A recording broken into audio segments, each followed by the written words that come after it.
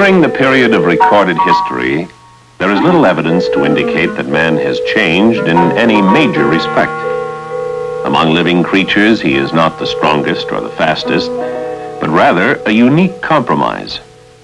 He possesses a central nervous system, but not much different from some reptilian antecedent.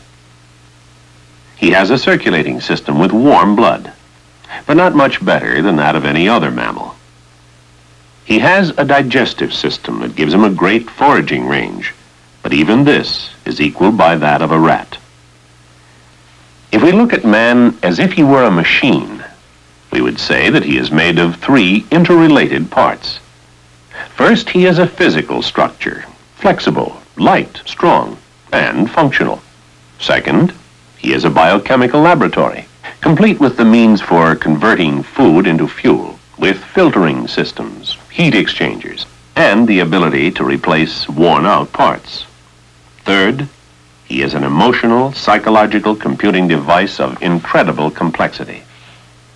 With systems for controlling movement, acquiring and integrating knowledge, and channeling desire.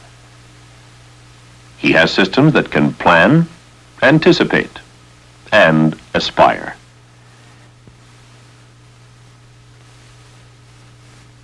Modern man's aspirations carry him into new and hostile environments. Although technically better prepared, he is the same as he has always been. His mechanical, chemical, and psychological abilities are severely limited. When the demands of the situation exceed these limits, man breaks down. The result? An accident. When we look at man as a physical structure, we see that he has a remarkably strong, light frame. That he is a mechanical system of levers and balances. Flexible. Resilient. But in spite of his abilities, he has many built-in limits. He can only reach so far. He can train himself to do involved actions requiring coordination and timing,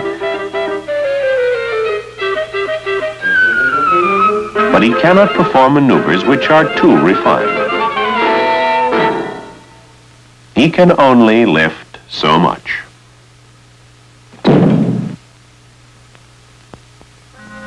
He has a precarious sense of balance. With his eyes closed, he has no sensation of acceleration under the rate of 2 degrees per second per second. When his sense of balance is contradicted by other sensory systems, such as by his vision during flight, simple things confuse him.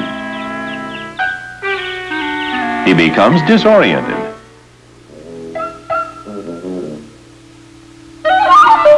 And may get vertigo.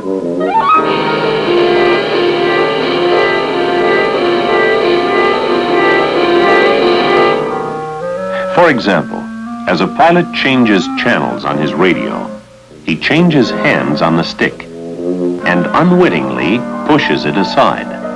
When he straightens up, he is level relative to his plane, but confused. In almost any sensory area, some other animal exceeds him.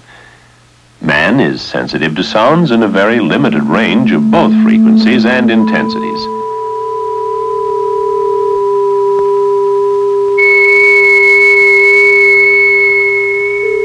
Man's noble companion and best friend hears much higher frequencies, above 20,000 cycles per second.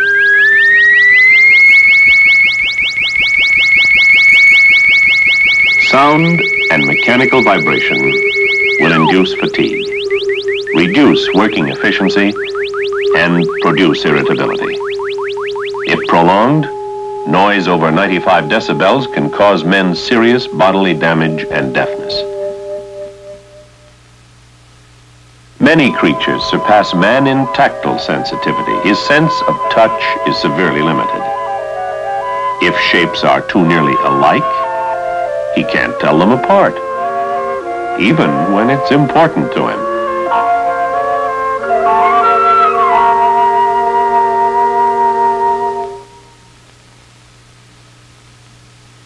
Modern man protects himself against his environment by designing easily handled mechanical equipment to correct for his limitation.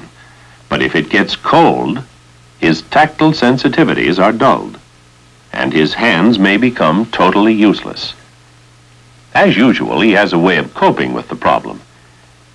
But with gloves, he can hardly rely on touch at all.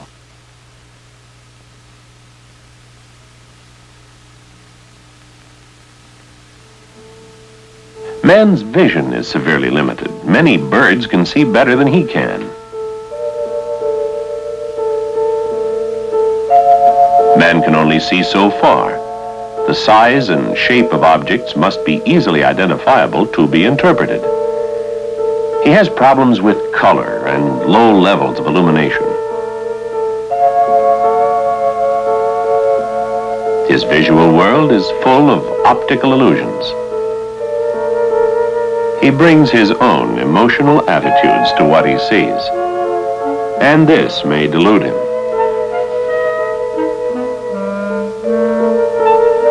Medieval man could readily be transposed to the 20th century. Today, man copes with a highly complex environment with physical abilities no better than he has ever had. For although man's civilization has become more complex, his physical limits have remained constant. He could cope with the high velocities in his new environment were it not for overreaching his physical limitations. Because he uses equipment in a way that exceeds his real ability, he makes errors of judgment, not only deadly for himself, but for others. Perhaps the most vital physical limit of man is the fact that he operates in time. A standard time sequence starts with the perception of information through his sensory systems. Then he interprets this information, compiles and integrates it with other information and past learning, and makes a decision. Finally, he responds with action.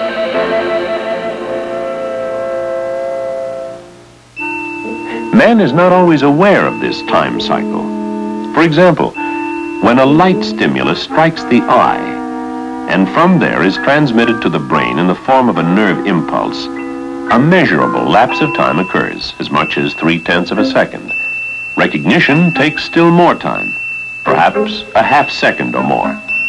Then the evaluation, interpretation, and the decision all take more time, about a second. After the decision, his response takes several more tenths of a second. There is also a time lag as the machine responds to the control, and another for the aircraft to deviate from its flight path. If two aircraft were on a collision course at 600 miles per hour at four seconds before the point of collision, these aircraft would be a mile and a third apart excessive time were taken in any one of these steps, if the pilot were to look into the cockpit, look outside, and then refocus his eyes on the instrument panel, this action would take about two seconds. Two seconds more than he has. A collision would be inevitable.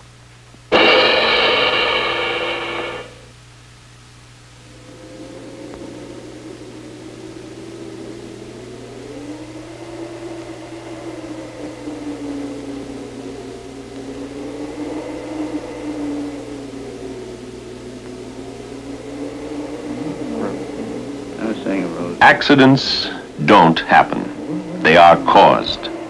The cause can be either failure of the materiel or failure of the human. Equipment changes, so materiel failures are different from one piece of equipment to another. Because man does not change, the kinds of errors he commits remain constant. The errors that he will make can be predicted from the errors he has made.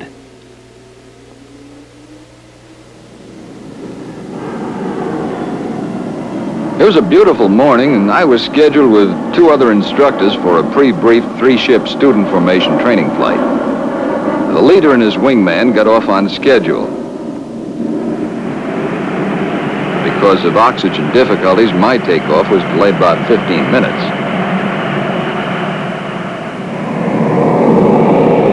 We had a planned rendezvous of a left-hand orbit at 18,000 feet in case of separation. After becoming airborne, I climbed to the rendezvous area with 100% power and picked up the leader in his left-hand turn.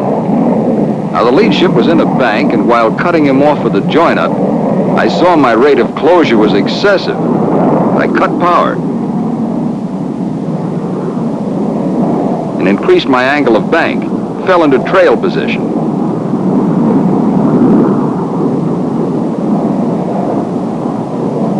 Thinking I was lagging behind, I went back to 100% and attempted to join on the outside of the turn. Suddenly I realized my high overtake speed on the leader and attempted to brake right. Well, as I started my turn, my left tip tank must have hit the tail of the lead aircraft.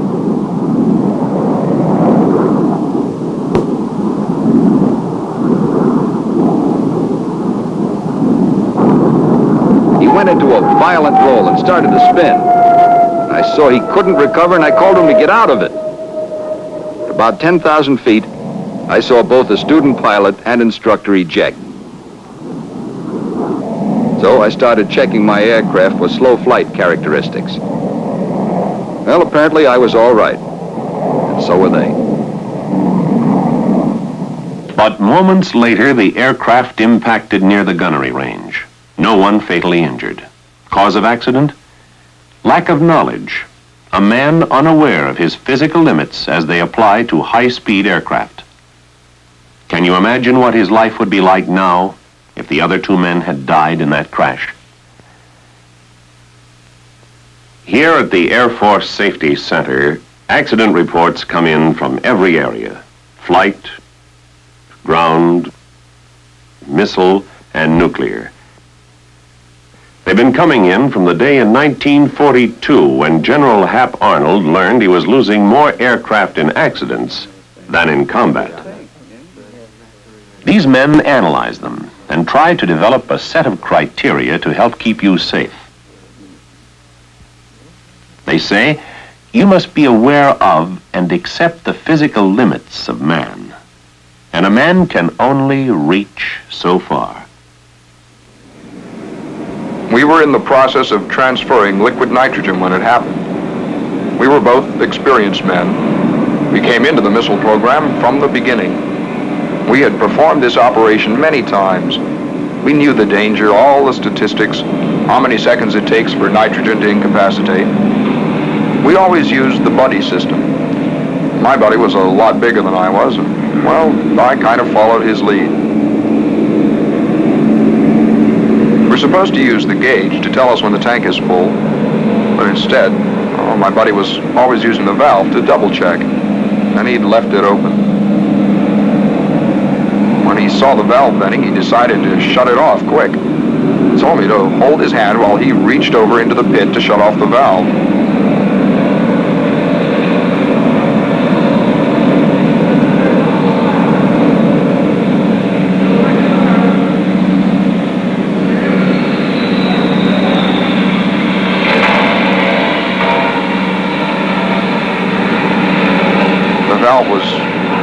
Out of reach. It was just a little out of reach.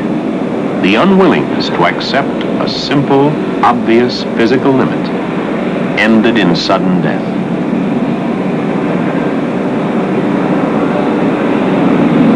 His hand went limp. I, I couldn't hold him. We're supposed to use safety equipment. We hadn't used any.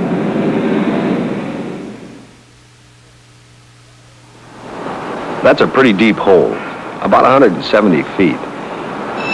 I guess I was one of the first men assigned to work in the silo. First, I liked the assignment. We've got an elevator that goes up and down the length of the big bird. Whenever the elevator moves, this bell rings and it goes on ringing until the elevator stops. It makes quite a racket, but it keeps you on your toes and no one has ever got caught under it. We have a public address system down there, too.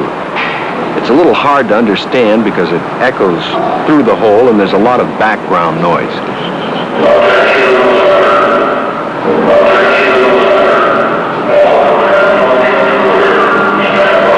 Whenever they run a test or there's an emergency, you get a couple of blasts on this klaxon.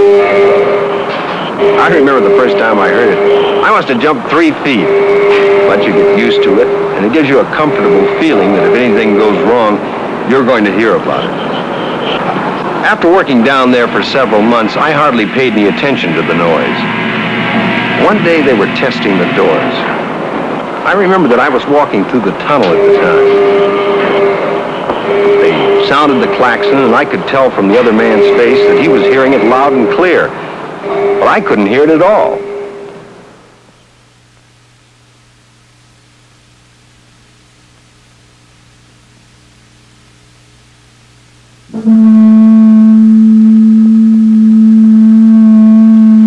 The flight surgeon told me I was going deaf. I needed treatment. But he said that I wasn't as bad off as some of the men who had been working in the generator room. Three of them, he said, were in bad shape, and they had more protection. This operation first began, three highly trained men had to be pulled off duty. At that time, the situation in this room demanded too much from man's highly limited hearing apparatus. Sometimes the limitation is built in man. At other times, it is built into his machine. I was on a local transition flight. The mission, climb the aircraft out at Mach 2 to 35,000 feet. You'd never think something like your sense of touch could be so vital until something like this happens to you, and then you never forget. I'd made a normal takeoff and afterburner climb to 35,000 feet, leveled off and continued an afterburner for about 30 seconds. When I changed to full military power, I noticed the exhaust nozzles failed to change from the wide open position. I then tried the emergency nozzle handle, but it didn't actuate. Attempted to relight my afterburner, but was unsuccessful. Full military power would not maintain my altitude, so I set up an emergency landing pattern. In order to increase my glide, I delayed lowering my landing gear until approaching the runway. The aircraft was sinking rapidly in the flare. I reached for the emergency gear handle and pulled the drag chute handle instead. Drag chute pulled the aircraft to the ground, and he landed four feet short on the overrun and skidded 6,000 feet down the runway. A case of design which did not anticipate man's limited ability to discriminate in an emergency. Two similarly shaped handles activated by the same motion, by the same hand. The result, momentary confusion and a damaged aircraft. There was no emergency here. The crane operator was highly qualified. He had operated a great variety of cranes. This was one of the easy jobs. The non-com directing the operation pointed to the wires looming overhead. The crane operator sized up the situation. From where he sat, there weren't any problems. No sweat. But the crane operator's vision failed him. He had misjudged the distance by a hair. When the crane touched the wire, the men holding the equipment were instantly electrocuted.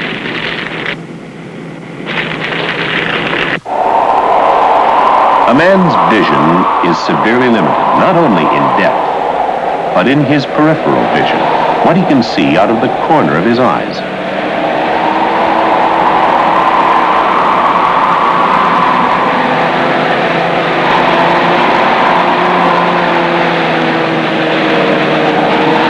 It was a cold day and the men were dressed for the weather. As the aircraft turned, the tailwalker misjudged his position and disappeared behind the huge wheel, so he could no longer be seen by the crew supervisor. Before anyone knew it, or could do anything about it, he slipped under the wheel and was crushed to death.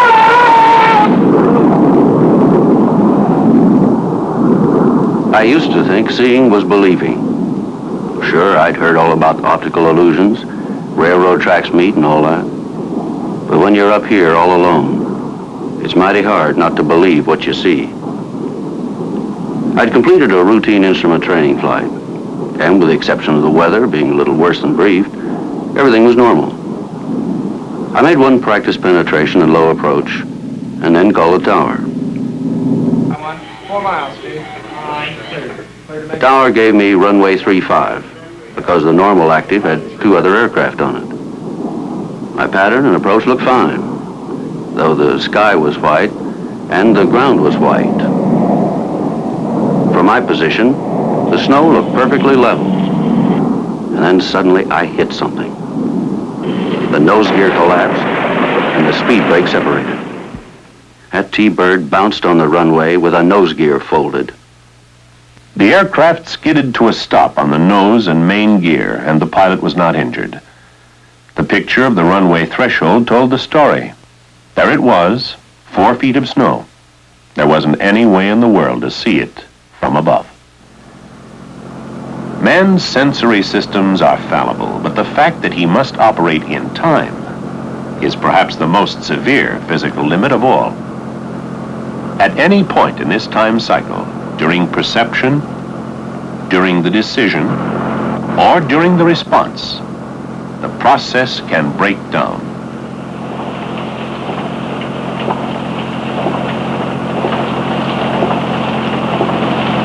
It was raining pretty hard, and I could feel this guy coming up behind me, and he was in a hurry. I decided I'd rather be behind him than in front of him, so I slowed down. I saw a car coming in the distance. Before I knew it, this maniac was trying to pass. I slowed down even more. He made it. Then I saw him lose control of his car, go off the road and hit a tree broadside. Killed him instantly. A closer investigation of this accident revealed that his tires were bald, no tread, and on a wet road. Here was a man who didn't know his own physical limits or those of his machine. Whether you're coming in for a landing, about to launch a missile, or merely driving home after a day of hard work, be aware of and accept your physical limits. After all, you're only a man.